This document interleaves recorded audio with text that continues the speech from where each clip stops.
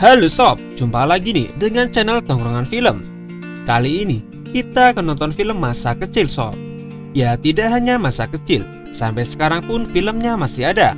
Saya yakin pasti kalian semua pernah melihat film ini dan tak perlu banyak ngomong lagi sob. Mari kita ke alur ceritanya. Check it out. Di awal film, kita diperlihatkan SpongeBob dan Gary yang sedang melakukan aktivitas bersama, dari bangun tidur, makan bersama, hingga melakukan olahraga yoga pun bersama. Namun SpongeBob yang harus bekerja dengan terpaksa meninggalkan Gary di rumah sendirian. Saat berada di Krusty Krab, SpongeBob membuat Krabby Patty seperti biasa. Setelah Krusty Krab dibuka, para pelanggan masuk ke dalam Krusty Krab. Di sisi lain, terlihat Plankton yang sedang memata-matai Krusty Krab. Terlihat, Plankton memiliki rencana jahat untuk mengambil resep rahasia. Plankton lalu curhat pada istri komputernya bahwa setiap dia ingin mengambil resep rahasia, Tuan Crab selalu menghalanginya. Namun Karen mengatakan bahwa selama ini yang menghalanginya adalah SpongeBob, bukan Tuan Crab. Kemudian kembali ke Krusty Krab. Sandy datang ke Krusty Krab membawa robot ciptaannya untuk dijual pada Tuan Crab. Robot tersebut bernama Otto. Tuan Crab merasa tertarik dengan robot itu, lalu membelinya dari Sandy. Namun robot tersebut malah membuat Tuan Crab kesal. Tuan Crab lalu mendang robot tersebut sampai ke tempat sampah. Karen yang berada di sana langsung mengambil Otto dari tempat sampah. Malam hari pun tiba. Tuan Crab menemukan Krabby Patty yang belum dimakan pelanggan. SpongeBob lalu mengamankan Krabby Patty tersebut. Kemudian SpongeBob diperintahkan oleh Tuan Crab untuk membersihkan dapur sebelum pulang. Saat SpongeBob sudah menyelesaikan tugasnya dan pulang, terlihat plankton yang berada sembunyi di dalam toples acar dan langsung menghampiri Patty tersebut untuk mendapatkan resep rahasianya. Akhirnya, plankton berhasil mendapatkan resep rahasia Krabby Patty. Namun tiba-tiba SpongeBob kembali ke dapur untuk mengambil kunci yang tertinggal. Plankton yang panik dengan tidak sengaja masuk ke dalam minyak penggorengan dan kini Plankton sadar bahwa SpongeBob yang harus disingkirkan. Scene kemudian pindah ke kerajaan Raja Neptune. Di sana raja memanggil pelayannya. Raja terkejut saat melihat tripu di wajahnya. Sang raja lalu meminta seekor siput untuk diambil landernya sebagai alat perawatan wajah. Namun saat digunakan, ternyata lander siput sudah habis karena terlalu sering digunakan. Sang raja lalu meminta siput lagi, namun stok siput sudah habis. Raja lalu mengatakan, jika dia akan beri hadiah bagi siapa pun yang membawakannya siput. Para pengawal kerajaan lalu membuat sebuah sayembara. Plankton yang membaca kertas sayembara tersebut lalu memiliki ide untuk menculik Gary. Karena jika Gary hilang, SpongeBob akan mencarinya dan Plankton akan bebas mencuri resep rahasia. Saat SpongeBob pulang ke rumah, dia tidak menemukan Gary. Saking paniknya, SpongeBob lalu menempelkan pamflet di seluruh bikin bottom. Lalu kita diperlihatkan masa kecil SpongeBob yang pertama kali bertemu dengan Gary. Di situ SpongeBob dan Gary memiliki pertemuan yang sangat indah dan mereka lalu bersahabat. Setelah itu, Patrick datang ke rumah SpongeBob karena menemukan pamflet yang SpongeBob sebar.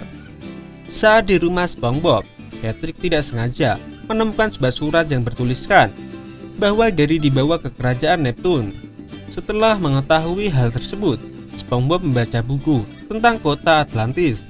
Di buku itu dijelaskan bahwa Atlantis adalah kota yang mengerikan dan di sana Raja Neptune suka melihat penyusup yang kepalanya dipenggal. Karena menyayangi Gary, SpongeBob tidak menghiraukan semua tulisan itu. Dia akan tetap mencari Gary. Patrick sebagai sahabat SpongeBob akan menemani SpongeBob dalam mencari Gary. Namun saat akan berangkat, mereka bingung mau menaiki apa. Plankton dan Otto lalu datang membawa sebuah mobil untuk mengantar SpongeBob. Semua itu hanya rencana jahat Plankton agar SpongeBob pergi.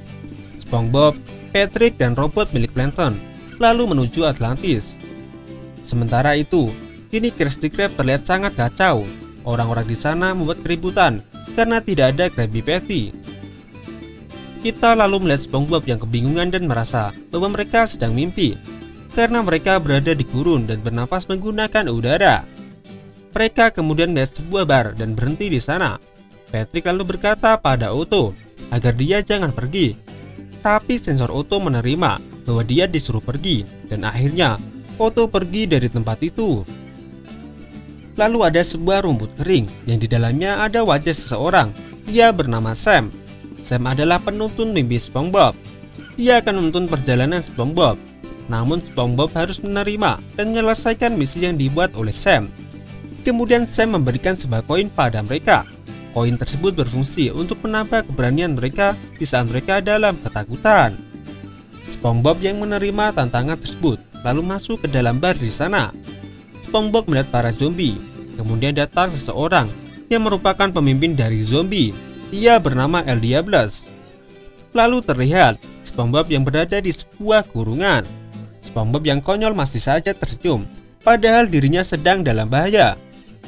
El Diablos yang kesal pada SpongeBob dan Patrick, lalu menembakkan laser ke arah kurungan SpongeBob, yang membuat SpongeBob dan Patrick bisa keluar. SpongeBob dan Patrick lalu membuka korden jendela yang dengan tak sengaja mengenai El Diablos dan membuatnya menjadi abu. Dan jiwa-jiwa para zombie kini terbebas. Scene kemudian berlanjut, di mana SpongeBob dan Patrick sudah kembali ke dalam mobil yang dikendarai Otto. SpongeBob berpikir bahwa kejadian tadi hanyalah sebuah mimpi. Namun ternyata Sam berada di mobil mereka. Sam lalu memperlihatkan Gary yang berada di istana Raja Neptune. Kemudian kita diperlihatkan Plankton yang meminta resep rahasia pada Tuan Crab. Dan Tuan Crab memberikan resep tersebut begitu saja. Karena Tuan Crab menganggap bahwa formula itu tidak penting dan lebih penting SpongeBob. Kembali ke SpongeBob dan Patrick yang sudah sampai ke Atlantis. Sam berkata pada SpongeBob dan Patrick bahwa mereka harus fokus mencari Gary. Namun mereka yang melihat banyaknya permainan membuat mereka bermain di Atlantis. Di keesokan harinya, Sam menemui SpongeBob dan Patrick. Di sana Sam meminta agar mereka kembali ke misi mencari Gary. SpongeBob lalu bertanya di mana istana Raja Neptune berada. Ternyata mereka telah berada tepat di halaman Raja Neptune. SpongeBob kemudian masuk ke dalam istana di sana SpongeBob sedikit membuat kekacauan hingga SpongeBob dengan tidak sengaja masuk ke dalam sebuah pertunjukan yang disaksikan oleh Raja Neptune. SpongeBob lalu melihat Gary yang digunakan Raja Neptune untuk perawatan.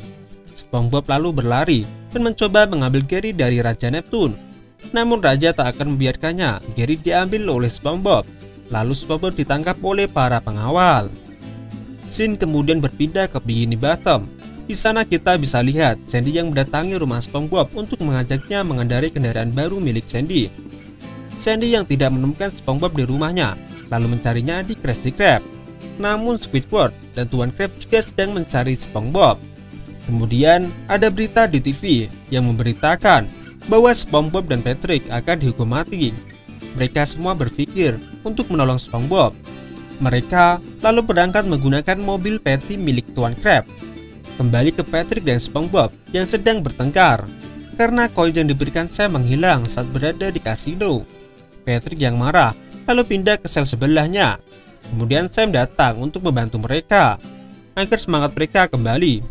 Sandy dan teman-temannya sampai di istana Raja Neptune. Di dalam istana, semua sudah siap untuk menghakimi SpongeBob dan Patrick. Sandy dan kawan-kawan lalu mencoba membantu SpongeBob dengan mengatakan bahwa SpongeBob adalah spawn yang penting bagi mereka. Kemudian mereka bernyanyi di sekeliling Raja Neptune dan berhasil mengambil Gary. Raja Neptune yang merasa terbodohi lalu menyuruh para pengawalnya untuk mengejar mereka. Singkat cerita, mereka semua kini sudah terdesak. Raja Neptune mau memaafkan mereka jika mereka memberikan siputnya. Namun SpongeBob menolaknya. Sam juga datang untuk membantu SpongeBob menumbuhkan keberaniannya SpongeBob lalu menasihati Raja Neptune bahwa penampilannya bukan segalanya, melainkan hati yang bersih dan penuh kasih sayang adalah segalanya. Raja Neptune yang mendengarkan nasihat dari SpongeBob lalu sadar dan berpenampilan dengan seadanya. Dan siput pun dibebaskan dari sel mereka. Dan kini bisa kita lihat bahwa semua orang di Bikini Bottom sudah memiliki siput masing-masing dan film pun